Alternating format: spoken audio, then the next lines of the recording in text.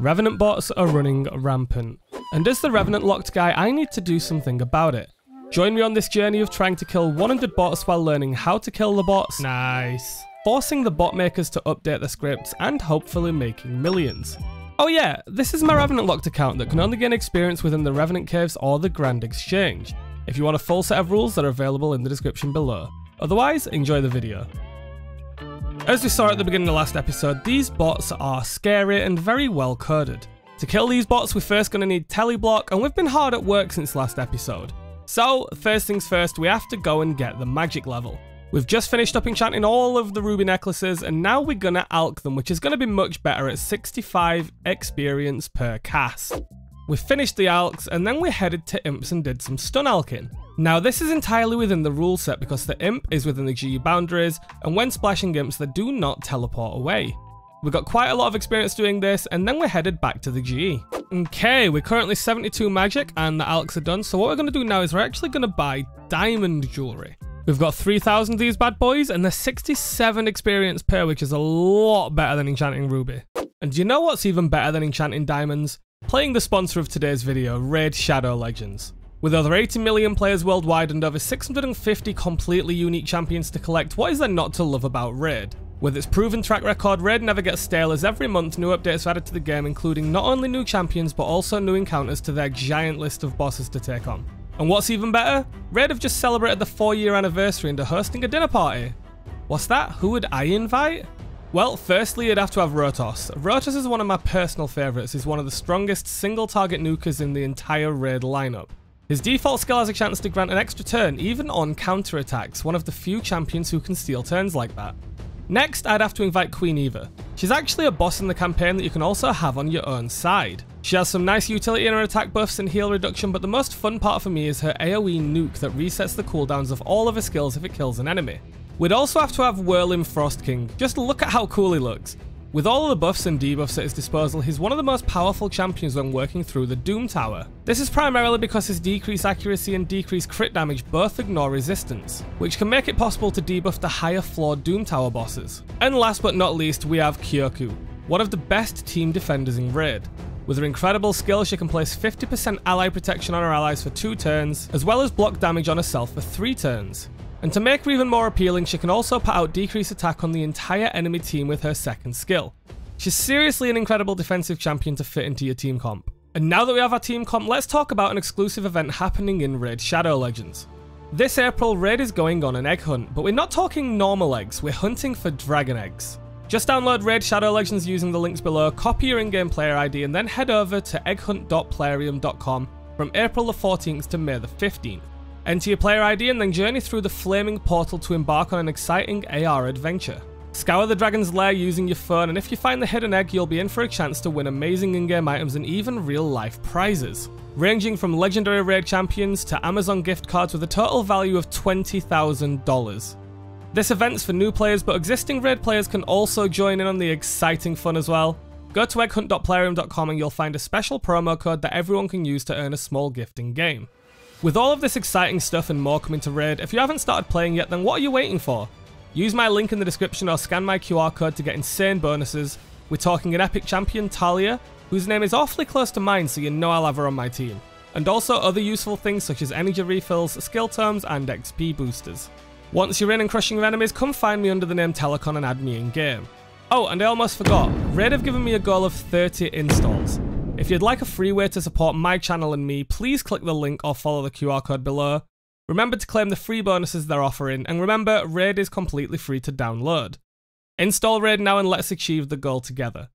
Also, thanks to Raid for sponsoring this video. And here is going to be 75 magic. After many, many hours, we can now cast Firewave. Now, Firewave is something that we are actually going to be using quite a bit. But the downside is that is a third combat level gain from the magic grind. The good news is it's going to be the last one, and I'll show you why when I get one more level. And here it is, finally, 76 magic. Now, this might not directly unlock anything, but at 76, we can use this very special item called a Forgotten Brew, and it gets us 85 magic for Teleblock. As you can see, this is a plus 9 boost, and these are fairly new to the game. But if I got 85 magic, I would have probably been like 62 combat, but doing it this way, I only gained 3 combat levels, which means my range is even more so in line with my current combat level. So let's head out and kill some bots. Okay, so I'm not sure how many misclicks I'm going to do and how bad I'm going to be at this, but this is our setup. The Forgotten Brews actually lower your attack and strength, meaning that bringing a maul or something probably isn't the best. So we're going to rock crossbow with magic. Now, because of this, we've got a tome of Fire that is charged, because we can now cast Fire Wave. With the tome, this max hit goes from a 20 to a 30, making it kind of deadly.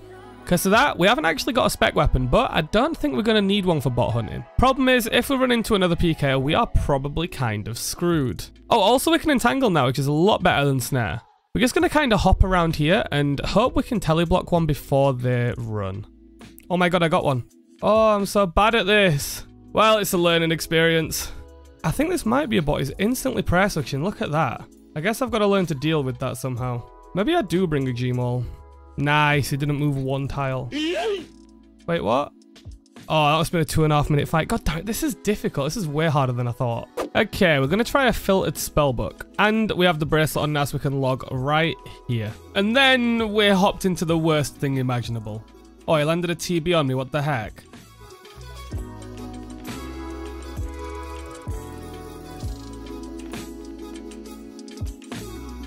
Yeet it, yeet it, yeet it, yeet it. Come on, that's got to be it. Yes. And then we discovered something that changed everything. Wait, this is how you deal with the bots. Oh my god, you just keep your crossbow and just major. Oh, this is sick. Okay, I found it. I found the strat. 30. Yeah, it is a bot. They don't swap prayers if you keep the crossbow on. Oh, this one's screwed. I found the strategy, which led to our first kill of many. Yep, that's right, these bots are really, really poorly coded. They only pray against whatever weapon you have equipped. Granted, they're swapping one tick, so if you equip a Gmaul, if you even have to run one, two tiles to them, they're going to get the melee prayer up. But the good thing is if we just keep a ranged weapon equipped, they'll never pray magic, meaning that we can hit a constant stream of 30s. And with our newfound power, we did end up with some collateral damage along the way. Well, we found one. Oh, this dude's dead. Is he even a bot? I think he is. I think he made the account because of me. I am so sorry, man. 400k, that is insane. Let's see if we can get two keys in one trip. If we die to a PK, we die to a PKer. This dude's a bit higher level. Oh, got him. I'm going to bank now, though. That's two. Oh, two keys. What's this, a mill? Yoink. We've got a 418k. Hey, that's not bad at all. He was there for a while. Kind of feel bad though, because I think he uh, created his account because of me. And this one's a bot, which also looks very appetizing. And then we got another kill. Come on, is that it? Are we done? We're done. This is so satisfying. And another one. And another one. And they just keep coming. In fact, we were getting so good at killing these bots that not many got away at all. Wait, wait, wait, his prayers turned off. Is he smited? No way this is smited. He's not got an avarice on though, has he? Has he? Please tell me that's an avarice smite. No, it's not. Oh, God damn it. The only downside was their average loot is between 1 to 500,000 GP. Whenever they're 500k, it's quite a lot. We can get like 6 mil an hour with 12 bots. But when it's 100k, it's not that much. Because they always take 5 prayer pots and a lot of food, and they normally bank when they're running out of food, so you can't really catch them low, they almost always get out of the Rev Caves. We do kill half of them in the Rev Caves, but as you'll see in these clips, a lot of them are closer to Ferox. Meaning that we don't get the guaranteed 100k for killing them in the Rev Caves, which does take a hit to the profits. 100k. God damn it. But if you do notice, every single bot is skulled with an avarice, meaning if we can smite them, then we can make bank. So, next goal was get 52 prayer, as it shouldn't get us too many combat levels. I knew we were saving this ancient totem for something. Yeet. Now, according to the calculator, we need 1018 dragon bones. So honestly, this isn't going to be too expensive. Let's get to burying. Just got 44 prayer and unlocked Eagle Eye. That should help out quite a bit. There's 45. Mystic Might is going to help out a lot using magic. And here's our first combat level. Well, only combat level 59. We are moving up there, but Smite is going to be helpful for this account regardless. And there it is. We can now pray Smite. Now, the bots carry 5 prayer pots, so I don't think we can smite any avarices, but let's try. And with access to the new prayers, we decided to head back to the Revenant Caves to hunt down some more bots. This time though, no rune crossbow. We've took dragon knives and a granite maul opening all three combat styles up. As well as this, the dragon knives allow us to have access to the spec bar before equipping the G-maul so we can spec with it earlier. Let's see if we can get someone. We got one, and it is a bot. So let's just do some smiting. Oh my god, that was so close. But yeah, he's not going to be smited, but we got a bot kill. Yoink. I carried on and killed four more bots at hobgoblins.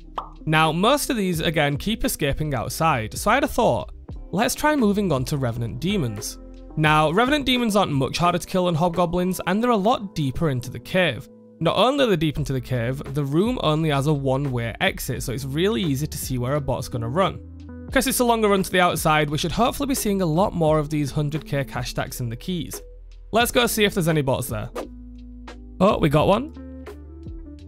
Surely this dude's not getting away. Well, it didn't, and it worked. We actually managed to kill him in the caves. Yes, he's level 50, but he still had a lot of food and we managed to kill him before he exited in the caves, so we get the 100k. Feels good, man. We killed another level 50 bot and then we ran into this level 67 bot.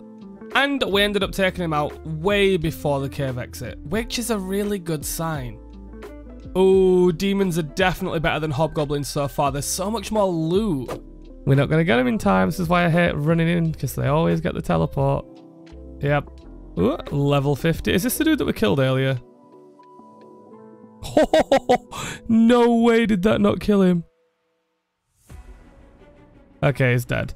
478k. I think I'm I'm going to stay around for a little bit, but demons are so freaking good. Oh my god, another level 50. These must all be like the same bot farm, which means this dude should have another half a mil on him.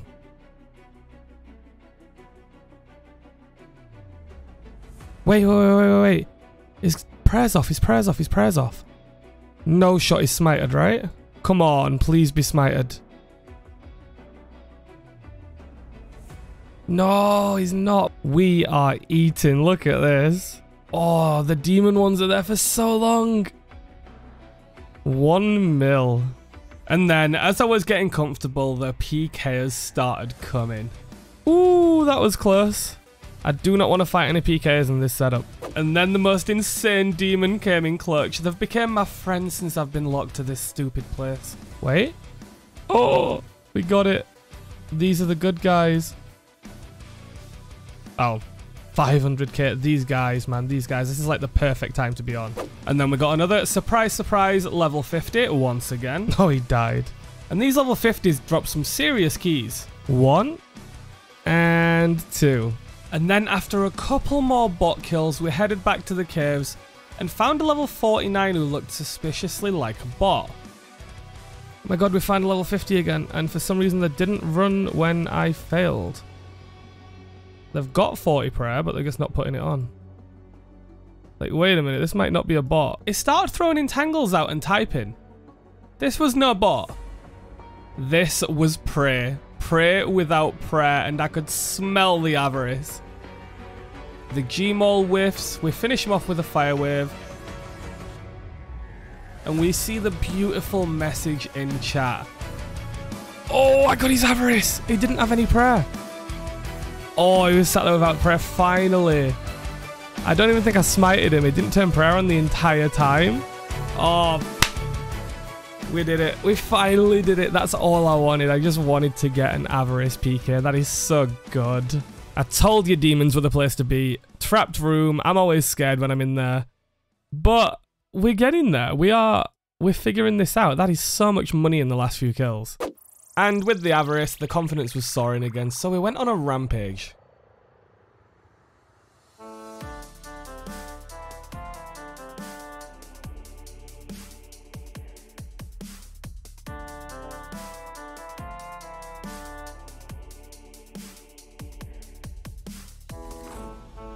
Then, after a couple of hours of bot hunting with no big drops, we decided to go back to Hobgoblins and found this. Genuinely dumbfounds me, I have no idea what is going on. Is he smited, by the way? Has he got an avarice on? Is this a smite?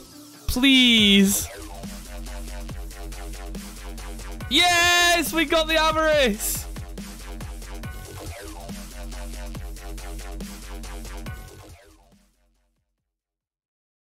Yep, we got a second Avarice, and as you might have noticed in that clip, we had a good upgrade. We actually upgraded to the Dragon Crossbow.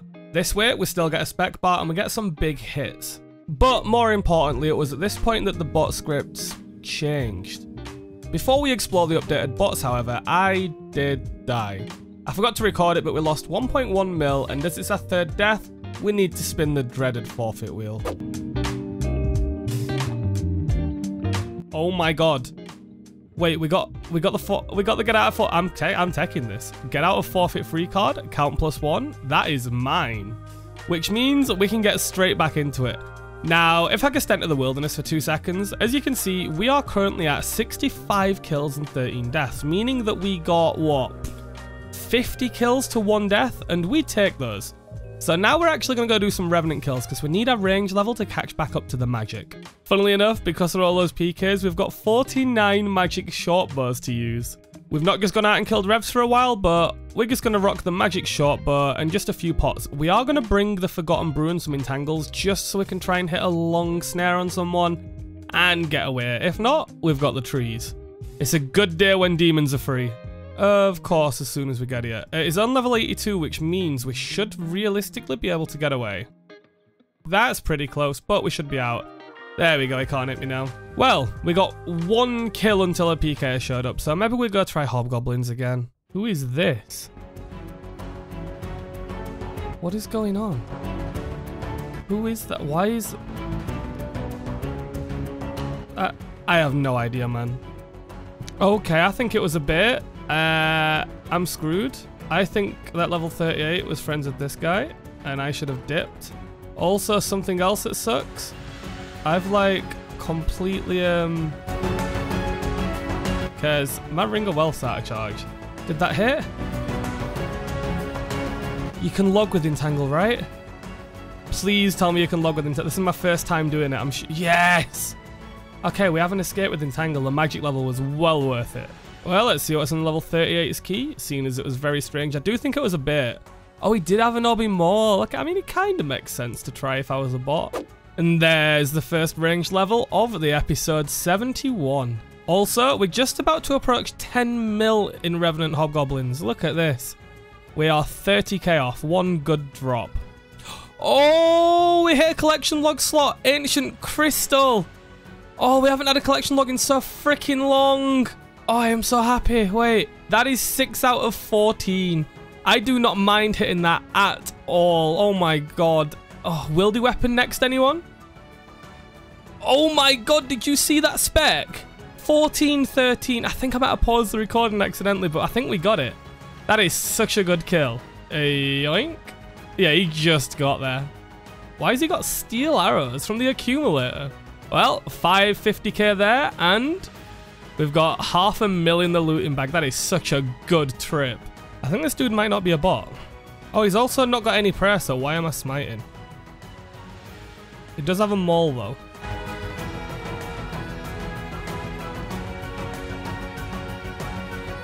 Fuck. I suck. I lost 1.3 mil. Jesus Christ. No idea about this one. Broken bot or something, but they did not eat. And then we get back onto the bots. Remember earlier I said that the bots upgraded the scripts? Well, this is an example of that. This is the same kind of bot that I was killing on the first few days, but now if you notice it does pray magic. However, it's in a system. It'll pray range at first, and then when you've done two magic hits, it'll swap to magic. And then when you do one range hit, it'll swap back to range, and then two magic hits again before it swaps back while you've got a range weapon equipped. So basically, you can kind of trick these bots by doing two mage hits, one range, two mage hits, one range. And it works out really well. I got another couple of kills, got a little bit cocky, tried getting a third, and ran into a PKer. Oh, this is a PKer, interesting. He's not got teleblock, but he's got 91 range and 95 magic. Jesus Christ. Let's not lose these keys. Number one and number two. And we kept killing. We became the Revenant Cave's menace. We killed people who gave up. This person's just accepted their fate, I think. Yeah, okay. We killed some proselyte warriors. I got him. He was trying to entangle me, bless him. We found a lot more bots. So it's going to be two mage hits watch. And then he's going to swap to Prot Mage, so we do a range hit. And then on the next hit we do magic because he'll swap back. And then we get two magic hits in, then he runs. And then we entangle. And then we do one bolt. This is literally, this is just textbook bot right now. And we even got some lucky kills on PKers.